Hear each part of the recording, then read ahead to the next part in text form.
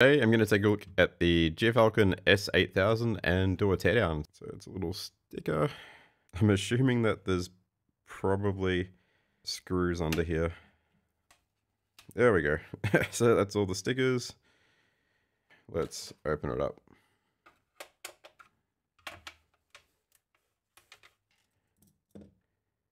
So here comes the case. there we go. It's a nice PCB.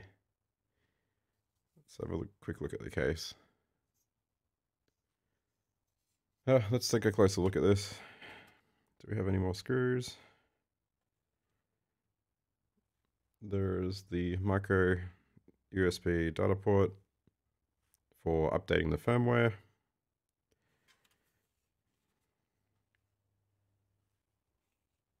So Got the ARM GigaDevice. I think I already copied the chip details on my review. You should be able to see the part numbers there. So ST32. Um, cool. Yeah, I've got the details of these chips in the review on timmcmahon.com.au. You can check out um, how this performs. So I can't really comment on the quality. I'm just a hobbyist. Look like quite chunky. Let's see if we can lift this up.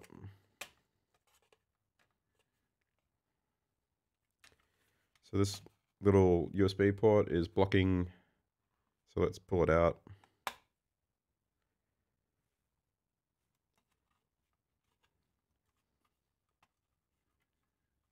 Delatch all of these springs.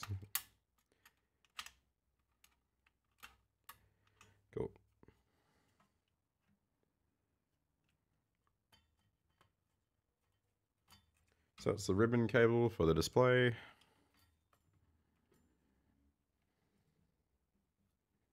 Ooh, that's nice. So those are the two fans. I'll try not to touch stuff that might zap me.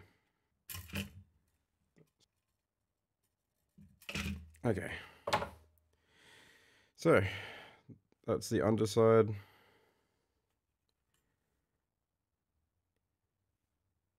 There's a bunch of IRF 3205 shimming. What are those? Look up the data sheets. Uh, bunch of capacitors.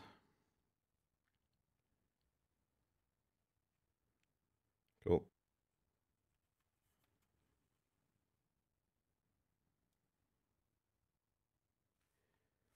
Is that? The UART port. Okay.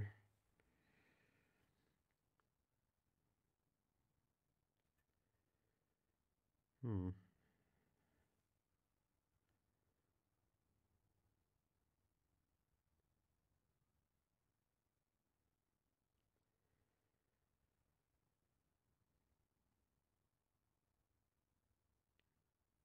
So it looks pretty good to me at first glance.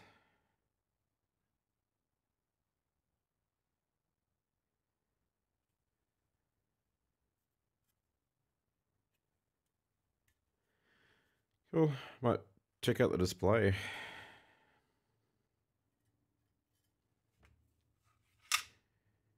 Uh, what have we got? Unscrew. Last time I removed a display, I ended up temporarily breaking it. I had to put it back together. It fell apart into pieces.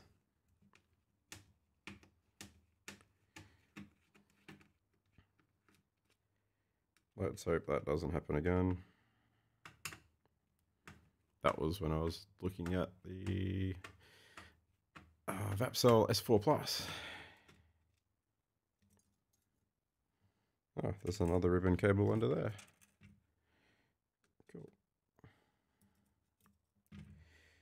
Uh.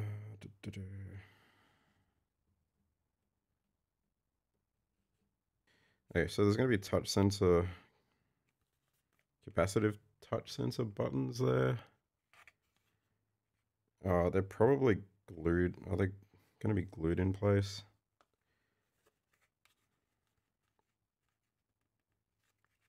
I'm just going to leave that. I don't want to break the buttons. That That's an aluminium frame, I'm guessing. So the heat's transferring to this aluminium part. And there are fans blowing. So yeah, looks like it's got some ventilation. That's pretty cool. So that little hole there, it vents through the bottom of the case. Well, there's a little, yeah, there's a grill there and there's holes underneath. Just under here.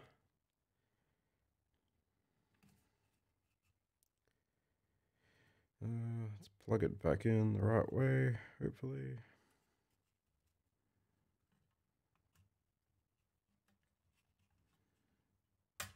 Okay. So it's the fan in. So let's bring the sliders up.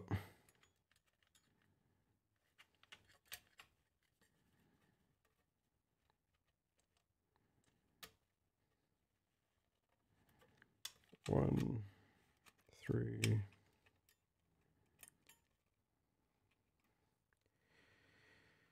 four. Okay, there we go. Yank. And it's in there. Cool. That was a little tricky. Let's put this back on.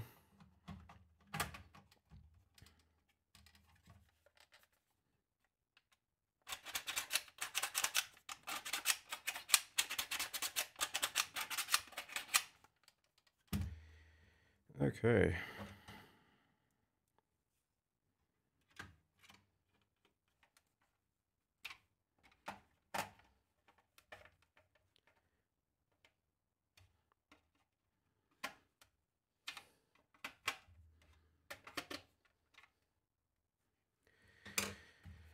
Cool, that seems pretty steady. Let's put these stickers back on. I might glue them if it's working. Cool, let's see if this actually still works.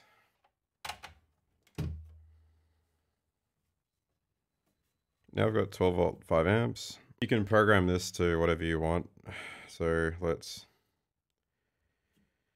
change them to charge 2 amps.